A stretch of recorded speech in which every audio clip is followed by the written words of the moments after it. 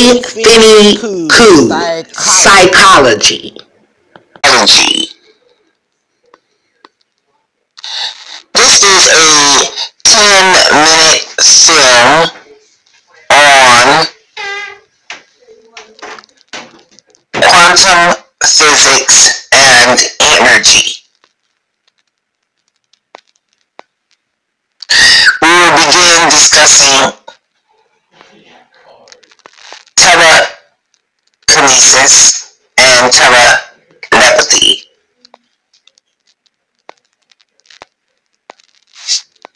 The purpose is to explore the human psyche and as referred to as the human mind. What is the difference between the human psyche and the human brain? The human psyche is a part of the central nervous system. It is not considered a part of the human body, but rather a part of the human mind. Therefore, treating the central nervous system with psychology.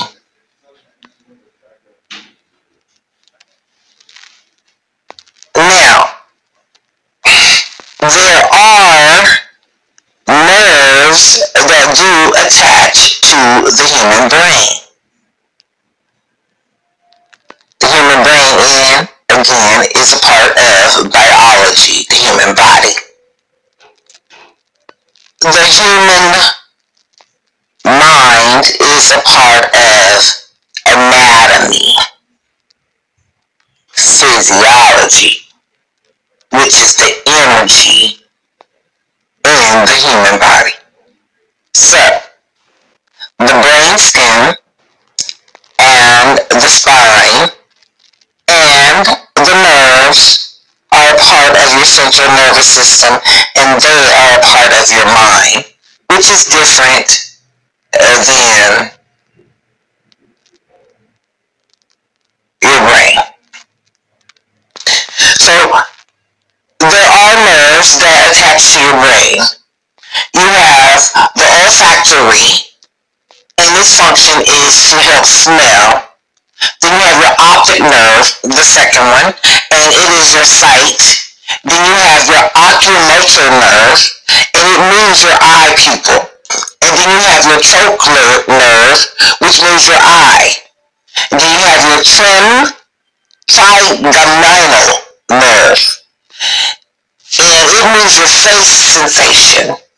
And then you have your abducens nerve, which moves your eyes.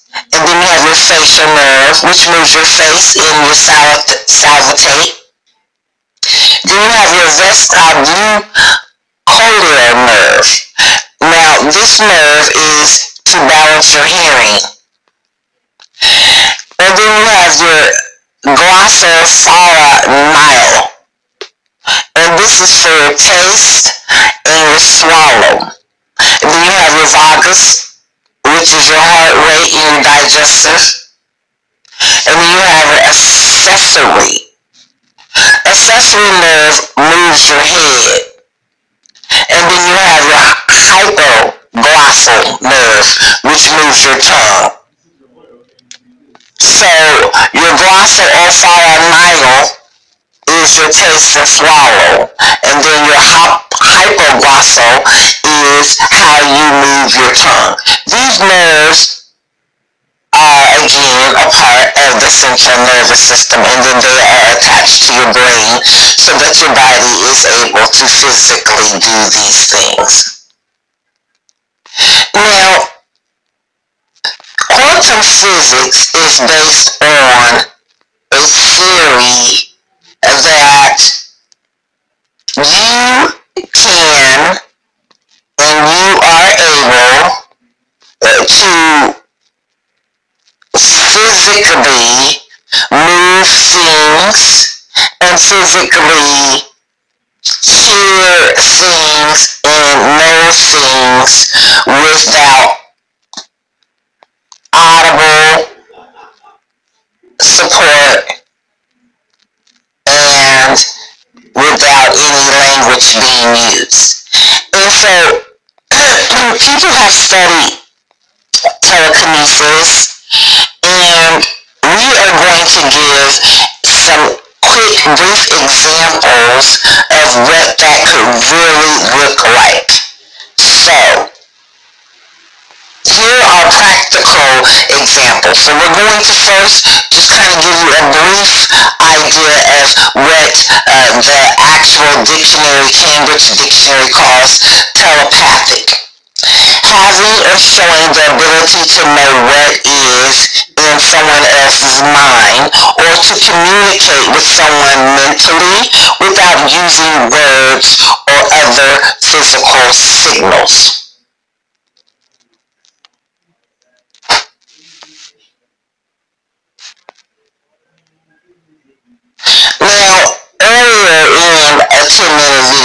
1972 brought you the stage fright theory, where one singer stands on the stage and says nothing. And we explain how the psyche can then perceive a threat and adrenaline kicks in. So keep that theory in mind. Now, here is telekinesis. Telekinesis is the belief, and this is the, the actual definition that is given. It is the production of motion in objects as by spiritualistic medium without contact or other physical means. So we're giving examples of that happen and these things happen without physical means. So another uh, way to explain quantum physics is psychokinetic. The subject is to attempt by thinking or willing to influence thrown dice, causing a certain die face to turn up or causing the die to land in a certain area. So, these things people have listed and referred to as telepathy or telepathy. You can direct communications or thoughts or feelings between people's mind without the need to use speech, writing, or any other normal signals. So this is Collins' definition. Now, going back, we talked about the objectives of acynical psychology, and those objectives are uh, to understand the difference between the mind and the brain, and that the mind is a part of the central nervous system, which is a part of the human psyche.